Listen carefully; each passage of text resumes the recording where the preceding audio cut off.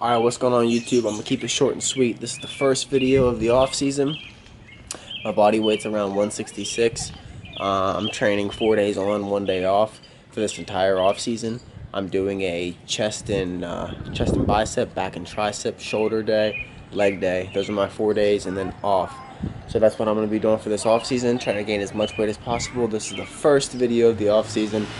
Um, I want to call this whole series something, but it really isn't going to be a series all that well because I'm going to be doing different videos like Technique Tuesdays and all that. And this video we're about to jump into right now is the correct way to do two of my favorite back exercises. So hope you guys enjoy. Peace.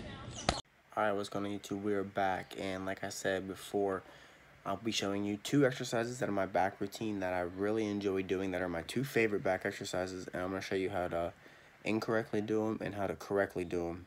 Um, a lot of people get the misconception that, you know, you can just do the exercise and get the results, but there's actually a right way to do something and the wrong way to do something. So, alright guys, so in this first clip, I've slowed everything down so you can really see what is going on here.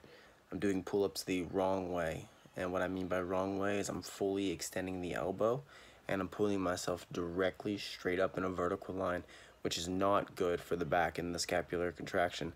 So what you really want to do is you want to arc your back arch, arc, whatever. And uh, don't fully extend the elbow. As you guys can see in this video, I'm only going down until my elbow is just slightly bent, just to keep the contraction on the back.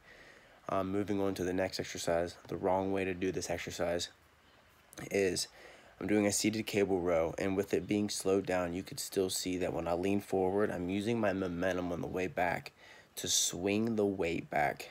Um, I'm aiming to hit my belly button, but you don't want to swing the weight in this next clip, you can really see the correct way to do this. I'm leaning forward still, but I'm also leaning back and then rowing. It's not all one motion. And then I'm holding for a second or two at my belly button and then leaning back forward again to continue on with the reps. Um, I hope you guys really enjoyed these video, this video. Uh, I'll be doing more like this coming up and uh, I love showing you guys how to correctly do the videos and I'll see you in the next clip.